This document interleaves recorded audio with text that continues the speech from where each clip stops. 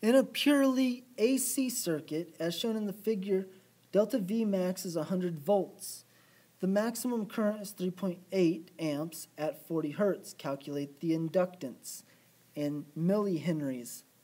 At what angular frequency, omega, is the maximum current of 1.9 amps? And it wants it in radians per second. So first let me start with the picture. You may be uh, scratching your head looking at the picture saying V max sine 2 pi ft. Well, quite honestly, I don't know why they put it in the picture either, but I'll go ahead and explain it. So if you have a delta V max, um, and then so the sine times the sine of the angle will give you, uh, it would give, so we'll, I'll just draw the picture. So the, here's delta V max, so we're drawing our phase picture again. And over here is delta V of a resistor, and then over here, this side of the, uh, the triangle would be delta V of an, an inductor only minus delta V of a capacitor. We're looking at the change of the voltage across a resistor, the change of voltage across the inductor, the change in voltage across the capacitor. The delta V max is going to be the vector sum of those things.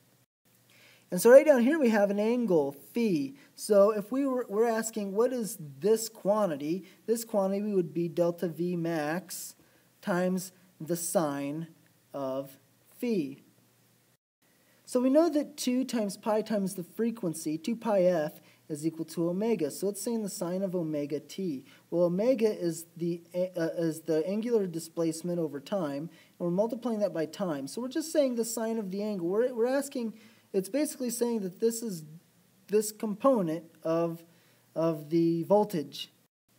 In other words, there are no resistors. There's only either inductors and capacitors or just inductors. It's just this is our component that we're looking at, which is equal to Vmax. And then it says that up here, it, purely inductive AC circuit. So why they put it here, yeah, I don't know. But okay, so get that out of the way. We're going to put that in the trash can, and uh, we're going to start on this problem. So it wants to know what the inductance is, and it wants to know what the angular frequency is. So first part, we're going to use the, the general case of Ohm's law. Delta V max is equal to I max, the maximum current, times the impedance, Z, where Z again is equal to the square root, and so this is just Z now. I'm not saying the whole thing is equal to. Z is equal to the square root of R squared plus the inductive reactance minus the capacitive reactance.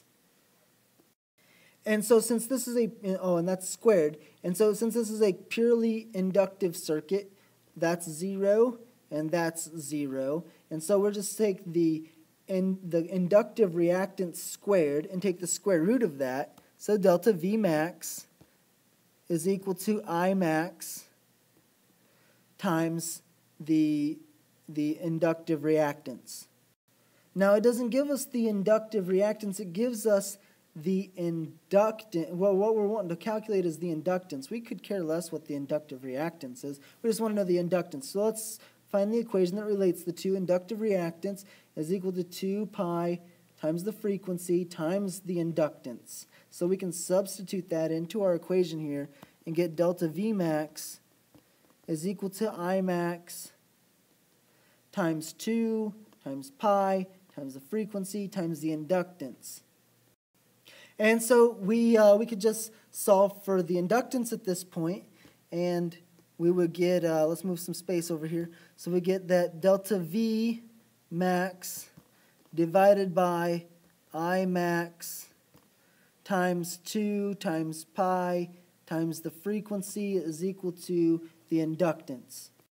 Now work all this out, plug in your numbers, but remember one thing, it wants the units in millihenries, so at the very end, times your answer by 10 to the third, and you should get millihenries. Now the second part of the question, it wants to know if the, so we're changing the, the maximum current. So whatever it said the maximum current was, we're saying, what if the maximum current was 1.9 what would the angular speed be? So what would omega be? Well, I don't see omega in my equation, but we know that omega is equal to 2 times pi times the frequency. So at this point, I can just simply take this and substitute it in for this quantity here. And then once the substitution is done, you get the delta V max over I max times omega is equal to the inductance. And then we just have to uh, move omega over here, or move inductance over here, move omega out here, and we'll have our, our symbolic answers, delta V max over I max times the inductance is equal to the angular, uh, the angular speed. Now this inductance is the same inductance that we solved for in part one, but we're just assuming that the current is going to change. We're going to add, uh, we're going to change the current a little bit. And so uh, if you do this, remember that you in part one you solved your inductance in millihenries. Now it has to be back in SI units, so you have to multiply it by 10 to the negative third uh, whenever you plug it in here. Okay, just so if you want to check yourself, you're not getting the right answer, you want to see how you're doing. Uh, I got 104.707 for uh, millihenries for part A and 502.6548 radians per second for part B. Hey, thanks for watching. Make sure you check out my blog. The link is down in the About section of this video. And on the blog, you'll find cool stuff like other videos for the same chapter. And you'll also find uh, little download links where you can download calculators to uh, basically just punch in your numbers and solve these exact problems. So you won't even have to watch the video if you don't want to. The last thing I want to say is if you leave comments on YouTube, of course I will get around to responding, but I'm much faster if you leave them at the bottom of my blog, right down there. Enjoy your day.